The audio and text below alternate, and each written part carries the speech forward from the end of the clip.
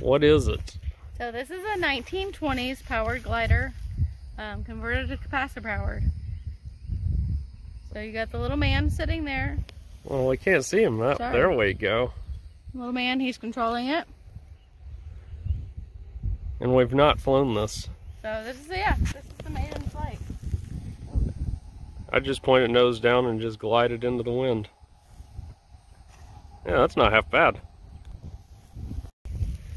Alright, you want to hold it up here so you're braced against it. And I don't know how you disengage from this, and we still haven't figured all that part out. Yeah. I think if you brace your fingers against that, but watch out, you're going to get smacked by the prop. Alright, get back over here so we can... Yeah, you're still going to get smacked. Oh, are we not charging? Guess not.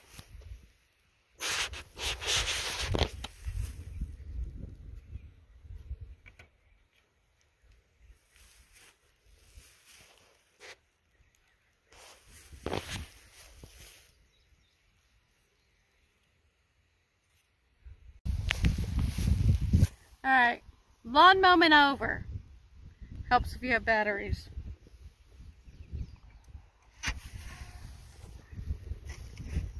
May need more power. So we moved up to a higher voltage setup.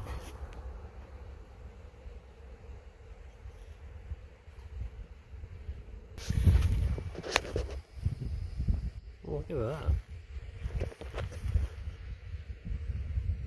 That's pretty cool. Boop. There we go. Ooh, why did it do that? Oh, you ornery thing. Oh, yeah.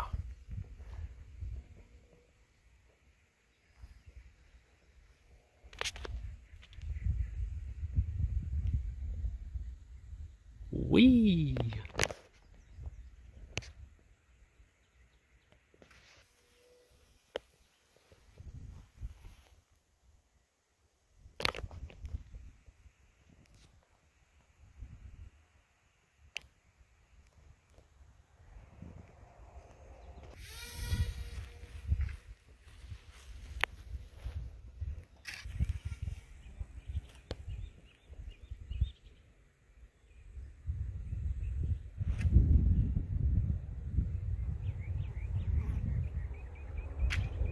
So on the last flight, um, this airplane broke both wings off, so we added more dihedral.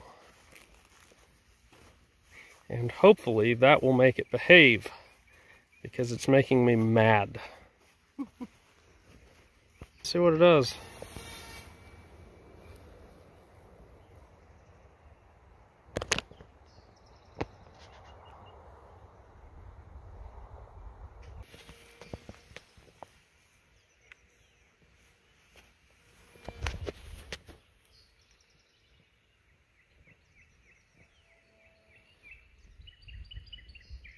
Well, that's a patch of lift.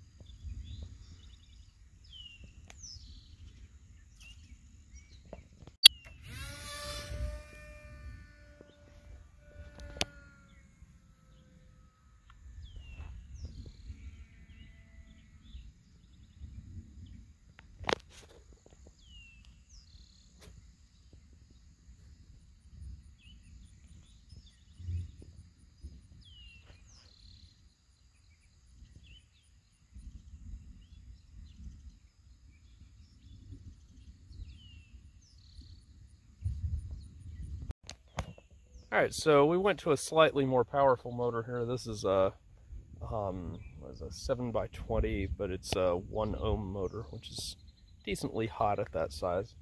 And so that gives it a little more power. Um, let's see, what modifications did we make? Uh, we added a little bit more dihedral at first. Yeah, it was uh, it was going really wonky. One thing that uh, was a contributor is the CG was right uh, about here, uh, very far forward, and I thought that was okay, so we rolled with it.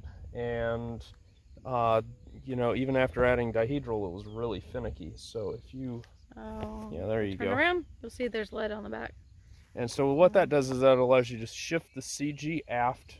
Well, that shifts the CG aft and allows you to use less up elevator, um, and it reduces the moment arm of your vertical tail, so that the dihedral begins to dominate the uh, vertical tail's behavior. So you get a little better spiral stability, and that was what really made the trick.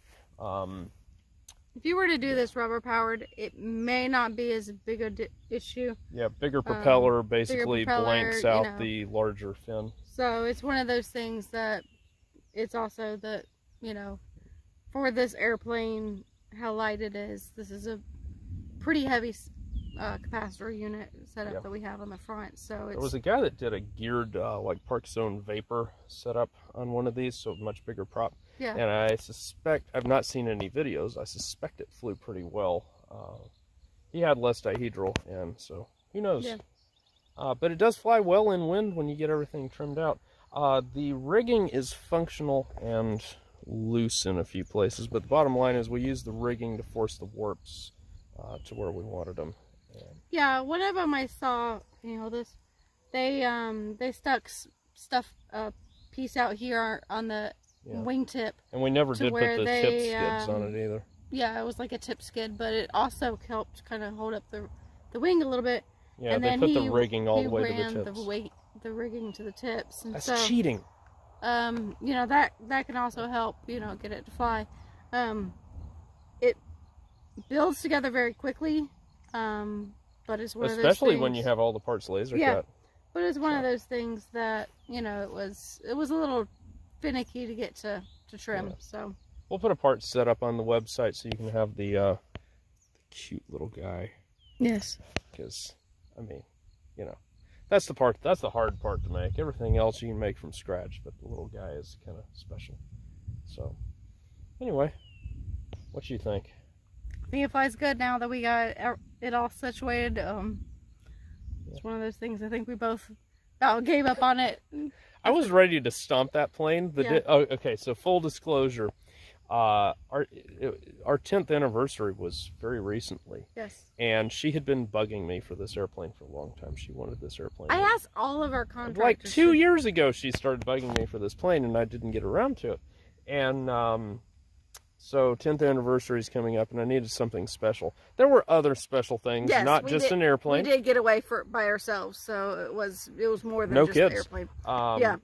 But uh, yeah, this was one of her anniversary gifts, and uh, I think it's. Uh, yeah, I was afraid it was starting to be a disappointment there for a bit, but uh, I think it's turned out rather well. I think. Yeah.